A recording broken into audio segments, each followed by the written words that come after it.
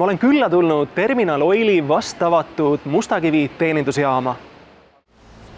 mina käin Terminal Oil teenindusjaamas tankimas vähemalt korra nädalas, aga ole hea, Jörgen, räägi, mida autojuht siin veel teha saab uues Mustakivi teenindusjaamas on tegelikult autojuhile valik on äärmiselt lai, et lisaks tavapärastele bensiinile üheksakümmend viis, üheksakümmend kaheksa diislikütus saab siin mugavalt tankida kohe klaasipesuvedelikku ilma kanistrit kasutamata.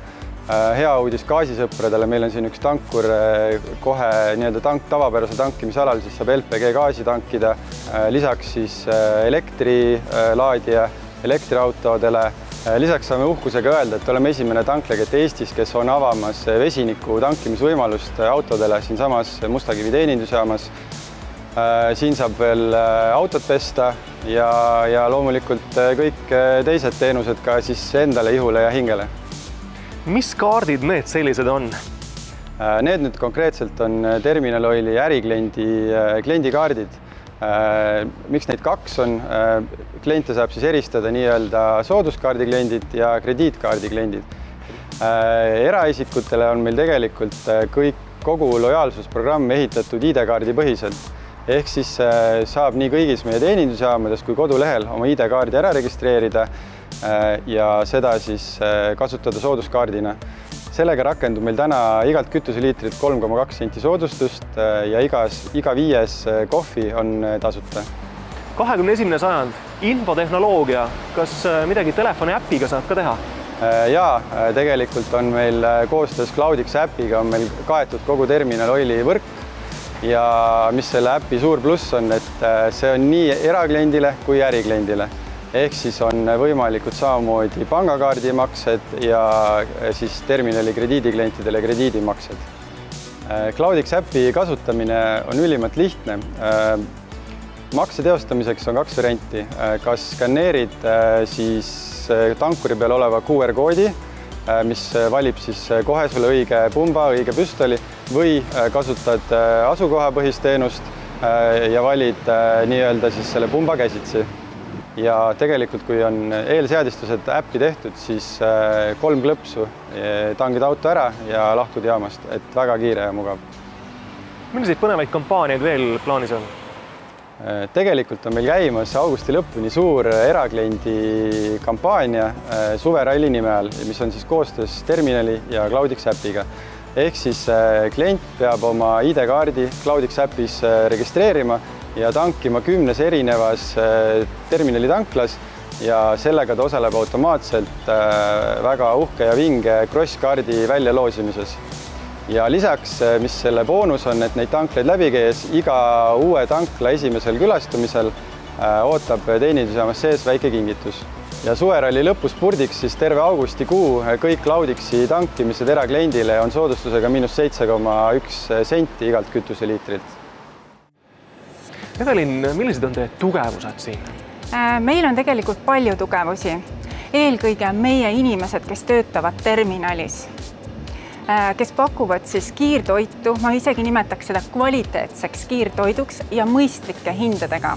tegelikult selleks on väga lihtne valem, tuleb rohkem müüa. näiteks meie grillburger maksab täna kolm viiskümmend see hind ja kvaliteet, mis sellel burgeril on, see meie klientidele meeldib ja see toode on saanud tihtipeale analoogsetel toodetel mõõdupuuks. Et kindlasti üks meie suurimaid plusse on see, et täna kõik burgerid, mida me pakume, on täiesti toored, ehk et me kliendi silmade ees küpsetame neid ühelt poolt ja teiselt poolt. ma olen tähele pannud, et teil on tihti ka väga põnevad kampaaniad ja kampaaniad vahetuvad iga kuu, iga kahe kuu tagant. et tänasele burgeri kampaaniale meil tuli kolm uut toodet ehk täiesti kolm uut burgerit. seda on tegelikult päris palju, et aga me lihtsalt nagu oleme nii noor ettevõte ja me tahame proovida. täna siis tuligi meil barbecue burger, tuli topeltjuustuburger ja kanaburger. kana on üldse minu arust nagu selline, et mis järjest-järjest nagu läheb populaarsemaks ja tänu sellele me pakume kanale ka veel vürtsikat varianti. kana puhul on eriti hea välja tuua see, et et sai, mida me nagu seal kasutame, on hästi võibaasil, hästi pehme ja see kana ja see pehme sai ja majones väga hästi äh, mõjuvad äh, koos, et lausa sulab suus, võiks öelda nii. et on piisavalt mahlane. ja äh, barbecue burger, niisugune suvemaitse, barbecue kaste, kellele meeldib, seal on pihv niisugune sada kaheksakümmend grammi, ta on niisugune üsna toekas burger ja topeltjuustuburger, ütleks niimoodi, et, et seda vist on ammu oodatud, sest et äh, ta on siis burger, kus on palju liha ja kes ei taha näiteks kapsast tomatit juurde, et see on niisugune, niisugune hästi lihane, lihale orienteeritud me mõtlesimegi nii, et suvi ja kõht on paljudel tühi, et teemegi niisuguse toote, need uued tooted peaksidki tulema selle eesmärgiga, et burgerid on nagu suuremad ja nad saavad kõhu täis. kuidas te teate, mida jällegi kampaaniasse panna? Me teeme iga kolme kuu tagant äh, kogu terminali äh, meeskonnaga infokoosolekuid. See on nagu koht, kus meil siis äh, teenindajad annavad tagasisidet, mida meie kliendid reaalselt soovivad. et tänu kliendi soovidele me käivitasime siis lisapeekoni, lisajuustu, et kui klient, kes tunneb, et ta tahab peekonit rohkem, siis tuleb küsida lihtsalt Evelin, minu jaoks on väga tähtis, et saaks korra päevas ka sooja sööki. Teil on väga rikkalik lõunabufee siin. ja lõunabuhvee on tõesti, me pakume seda äripäeviti Äh, kümme kolmkümmend kuni seitseteist null null. Äh, see on väga mitmekesine. Mm, klient saab valida kartulit, riisi, tatart, erinevad lihad, supp, magustoit, päevakooke. me teeme koostööd väiketootjatega. Meil on ülioluline, et äh, lihatooraine oleks värske ja tihtipeale meile näiteks tootjad isegi helistavad, et kuulge, et homme on meil tootmises maks, siis meil on selge, et ülehomme on meil maksakaste ja võileivad samamoodi maitsevad nii hästi. ja kui ma rääkisin sulle, et meil on kolm osa, põhiosa kohvikpood, tankimine, siis me oleme tegelikult äh, terminali kaubamärgi alla pannud ka kaks väiksemat kaubamärki. Äh, üks on siis kohviterminal, kus me siis äh, koondamegi jaamas koha peal tehtud salateid, võileibasid ja teine niisugune väike kaubamärk on terminal market kus on siis äh, liha, saia, piima, muna, ütleme, see on siis nõndanimetatud lähipoe kontseptsioon. oi, tere, Felix, siin sa siis oledki. Rõõm. no kus mul ikka mujal olla. ja, mida põnevat, mida maitsvat teed praegu? Hommikusöögi aeg on praegu äh,. mõtlesin, et teeme kaks omletti.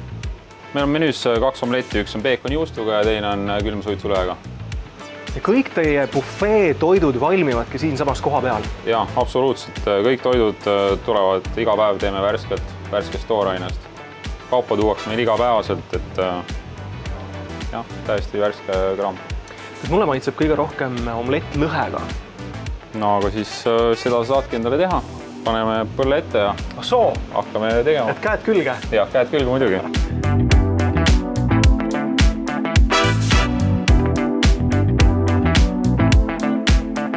ja nüüd klopime vahtu, teeme võidu. minul on kahvel, sinul on päris tööriist.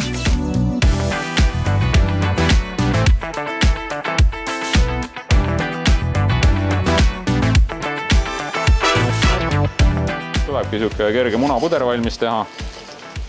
ja üks hetk võtta vastu otsus, et äh, nüüd enam ei sega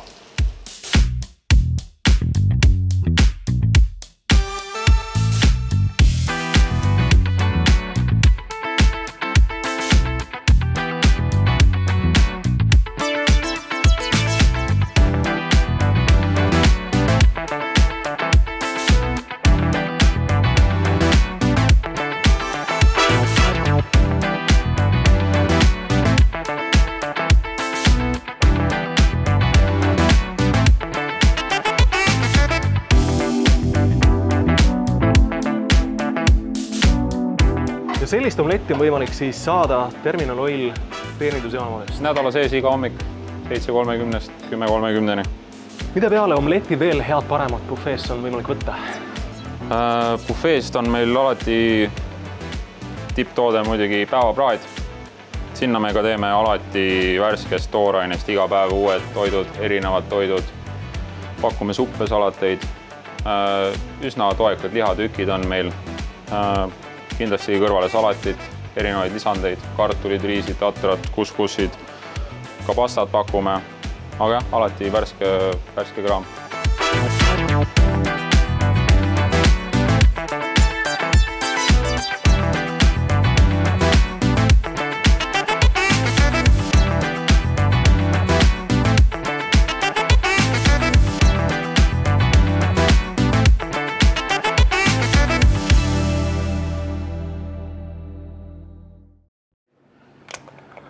mina lasen nüüd äh, omletil hea maitsta ja Terminal Oili Mustakivi teenindusjaam on nüüd ka teie jaoks avatud, nii et tere tulemast ja head isu